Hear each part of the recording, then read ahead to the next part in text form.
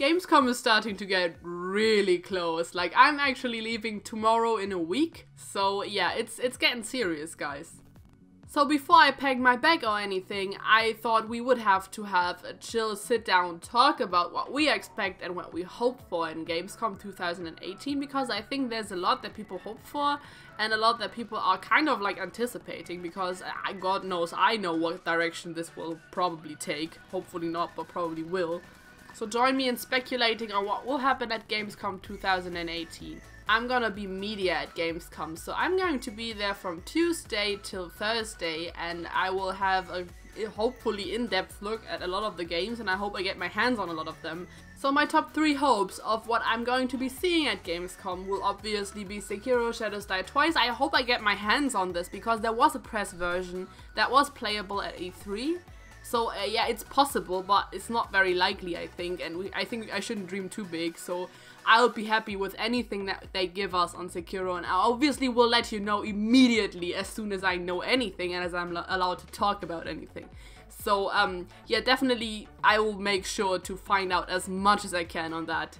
So my second biggest hope of Gamescom 2018 is that I will get to play the Spyro Reignited trilogy, which I think is a reasonable hope as the game comes out next month, so there probably will be a playable demo.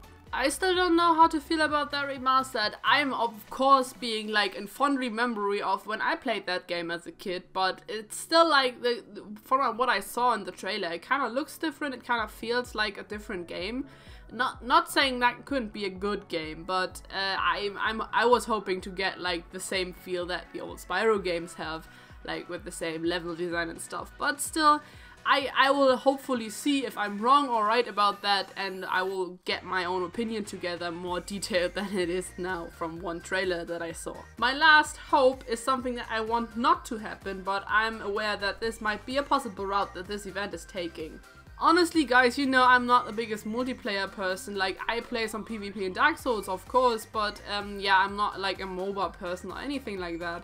Um, don't really care for multiplayer that much, uh, except for co-op, which I frequently enjoy, but still, um, the whole Fortnite and like Battle uh, Royale kind of games are nothing for me as a player, and I hope uh, that the market is not completely shifting towards that as Fortnite and also PUBG and anything else like that is ridiculously popular nowadays. So I hope that they don't hone in on that way too much as uh, yeah that's not really my my type of games but I, I know there will be a lot of Fortnite going on there as this obviously rakes in a lot of new players and it's kind of like the new generation of players which I'm I don't want to sound like an old grumpy video game nerd that is uh, praising that the old games is the only thing that's fun but yeah I, I'm just not I'm not a big like multiplayer person when it comes to video games so yeah maybe just not my taste guys uh, Hope you don't take this to heart, and I hope uh, Gamescom won't be like Fortnite Fortnite.com.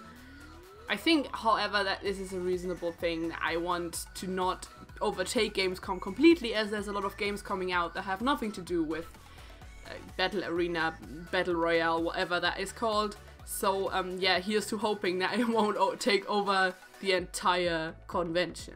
What I'm really looking forward to at Gamescom, but that's everywhere, is discovering the indie area, because that's always a gold mine of amazing games that are probably most likely going to be super interesting and super creative, which I think is uh, like the boiling pot of what makes video games great. So I'm really hoping to see some new big indie titles, um, something great, something creative, something that changes my perception of what the video game market is today. Because yeah I definitely hope I see some some innovation there. But I'm definitely going to be like there's there's a lot always at Gamescom so I think my chance of getting that wish fulfilled is pretty high and I'm really looking forward to do that actually. Anyways, as previously mentioned, I'm going to be there from Tuesday till Thursday, so if you manage to see me somehow, make sure to wave at me or say hi or something. And yeah, definitely chime into the conversation in the comments down below and tell me what you are looking forward to at Gamescom 2018 and also what you're hoping that will not happen and if you agree with me because I always love hearing from you guys and I'll see you at Gamescom then.